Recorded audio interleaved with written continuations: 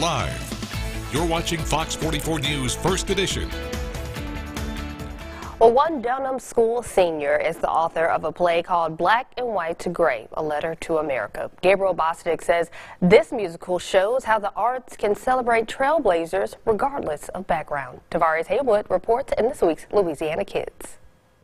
I have hopes of it making an impact on my community, but I know that my responsibility is just to get the message out there.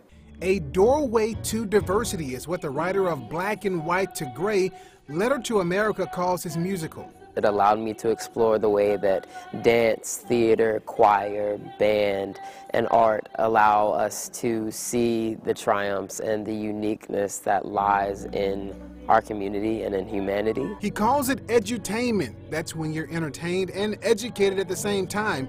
Now, he got the inspiration for the musical from the world being so divided.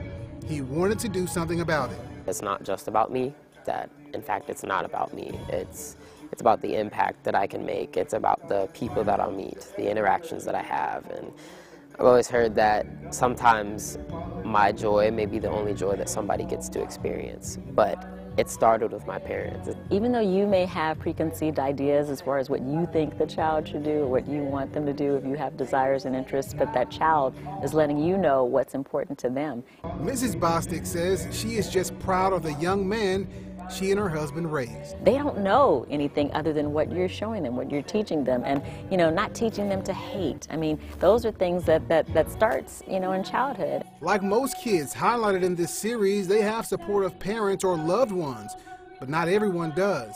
Gabe has this message for those kids. It's the amazing that's in you that's going to develop, and whether that develops through interactions with your parents or just through daily life. He also has this message for America. I hope that you decide to take that first step. Don't wait for anybody else to go. It's your turn. It's your mic. What are you going to say with it? What are you going to do with it?